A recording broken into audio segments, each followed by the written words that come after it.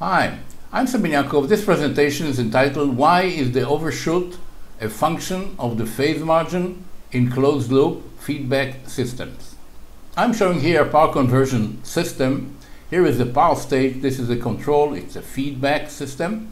And we know that the behavior of this system for say a step in the input or disturbance it really depends on the phase margin. For example, if the phase margin here it is, is small, smaller than 60 or 45 say, then the response to a step will be sort of with an overshoot. Here's the overshoot. And also in the frequency domain, we're going to see this hump, this peak, as we go to where the end of the bandwidth, okay? So the overshoot and the hump that we have here are a function of the phase margin. This is very well known, of course. And the question is, why? Why is this so? And in this presentation, I'm going to show, first of all, that a closed-loop system with a small phase margin, smaller, say, than 45 degrees, behaves as a second-degree system and that the overshoot then depends on the Q of this equivalent circuit. So in this presentation, I'm developing a new generic model of a feedback system around the crossover frequency. I'm proving that the closed loop feedback system behaves as a second order system. This is a sort of a easy and friendly and intuitive proof. And then I'm going to show some interesting new relationship between the phase margin and the pole location. So here is the problem. We have the loop gain this is the loop gain of a system. And this is the crossover. And we know that the critical point here is this crossover frequency, the crossover point. I'm showing here a case in which we have a slope of minus 20 dB per decade. And then we have a slope of 40 dB per decade. That is, we have a first order pole here. And there is an intersection here, and we can understand, I'm going to discuss it, that the phase margin here will be smaller than 45 degrees in this case, if we are beyond the pole here. Notice that it is not important what is the history here, as long as we arrive at the crossing point with a minus 20 dB and then there is a minus 40 dB, and I'm talking about, about a minimum phase system. That is that within this region there is no right half plane zero. Then if this is minus 20 dB and this is minus 40 dB, we can say something about the phase which is related one to one. Here is 90 degrees, minus 90 degrees, and there is an, another lag due to this pole. So let's have a look how this uh, behavior here is built from. We have actually a line here, minus 20 dB per decade, a response here, which is like a uh, integrator. And then we have another pole here, a first order pole at W0. And then the combination of these two, that is the product in the linear scale or the sum in the logarithmic scale, brings about this behavior. Here it is. This is the end result of this line and this first pole. And here we have a break. Okay? Now, since we have a break here, then I can already say that the phase here the added lag to the, due to this pole, the added lag, is according to arctangents omega L, which is this point here that I'm interested in, and the location of the pole. This is the added lag. And then we have 180 due to the negative feedback, and then we have 90 degree due to this line here. So this is the phase margin, okay? The phase margin in this particular case 180 minus 19 minus arctangents this ratio and this is the phase margin here okay so here is the picture we have minus 20 dB then we have minus 40 dB and then we have these two points here the two frequencies that I'll be talking about one is the original place of the single pole here that we have and the other one is the intersection here. So now comes a very interesting observation. If I label this height or gain, you might say as k, and since this is minus 40 dB per decade, then I can certainly say that the omega L over omega 0 square is equal to k actually over 1, okay? Because this slope is minus 40 dB, which means to the power of 2.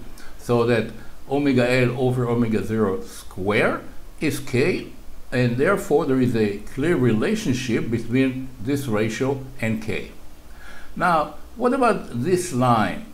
This line goes down and then it hits this point at k, okay? So I can say that the equation or expression that uh, describe this line is k omega 0 over s because at omega 0, when s is omega 0, j omega is omega 0, it is k. So this is this, the, the expression for this line. Now we know what is k. This is k. So I can express this k omega 0 as omega l square over omega 0.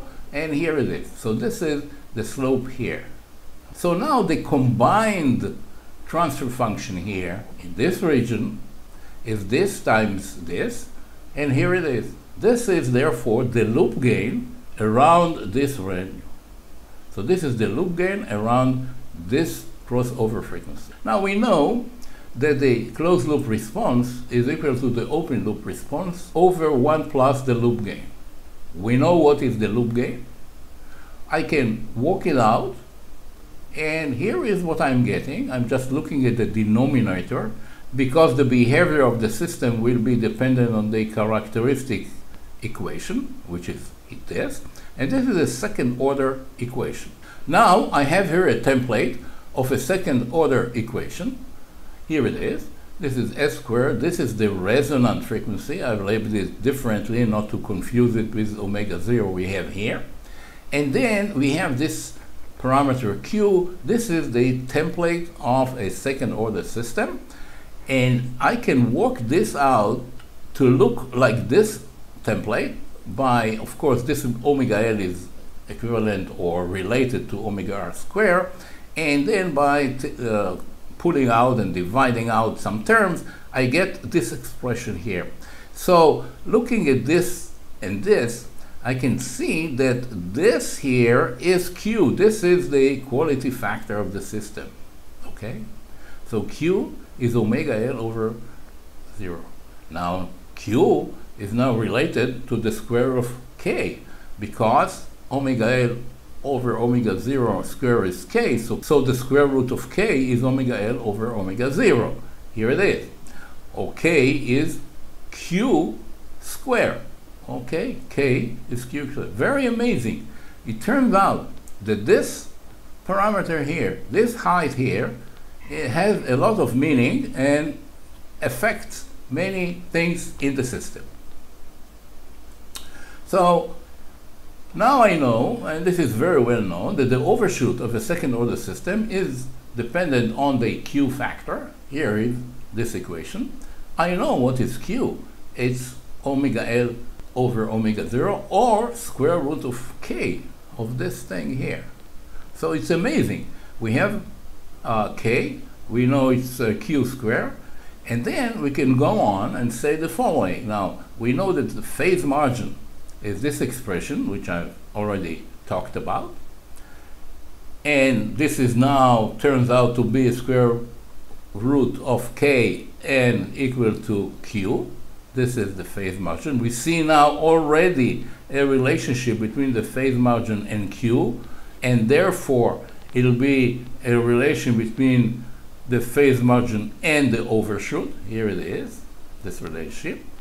And now, knowing that this phase margin is equal to this expression, and this is square root of k or q, I can actually turn around and express q or square root of k as a function of trigonometric function of this thing, which turns out to be 180 minus 90 minus the phase margin. Okay, so this now is the expression that will determine Q. So we have a relationship, a clear relationship between Q and the phase margin. And on the other hand, if we know the phase margin, then we know the Q and we know the overshoot. So here I've prepared some plots for this particular situation, which is very common. We have minus 20 and then minus 40 dB slopes. And what I'm showing here is the relationship between the phase margin and Q according to this equation. Okay, here it is. Very nice. And then I've also plotted the overshoot itself as a function of the phase margin. And you see that at uh, 45 uh, we have like uh, 0.15, actually I've written here 0.16, then 16%. But then as the phase margin goes lower and lower, then of course the overshoot will be larger and larger. I've also plotted, this is the standard equation, this is well known, the relationship between the overshoot and Q.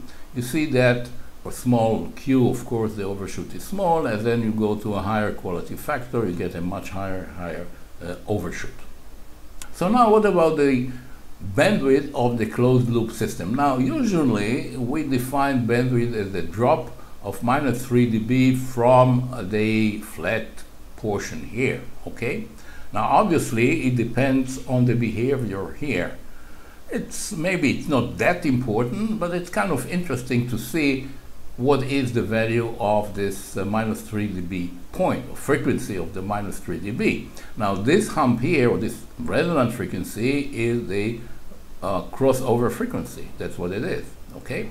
So um, here I've plotted the case for various Q values. This is Q1, which is 45 degrees, and then it goes 45 degree phase margin, and then it goes up and up for smaller and smaller phase margins.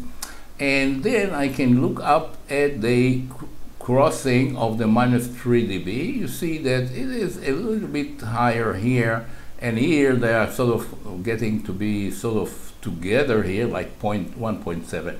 There is a mismatch, a slight mismatch between this equation, which is very well known in the literature, and what I found here in the simulation. I really don't know the exact reason for the slight mismatch. It's a small mismatch, and um, but from practical purposes, we understand that we are in the range of like say 50% uh, more of the frequency like uh, instead of this is normalized frequency 1 so it's like uh, 1.5 uh, normalized frequency so what are the conclusions of this presentation first of all we found that closed loop feedback system with small phase margin really behaved as a second order system.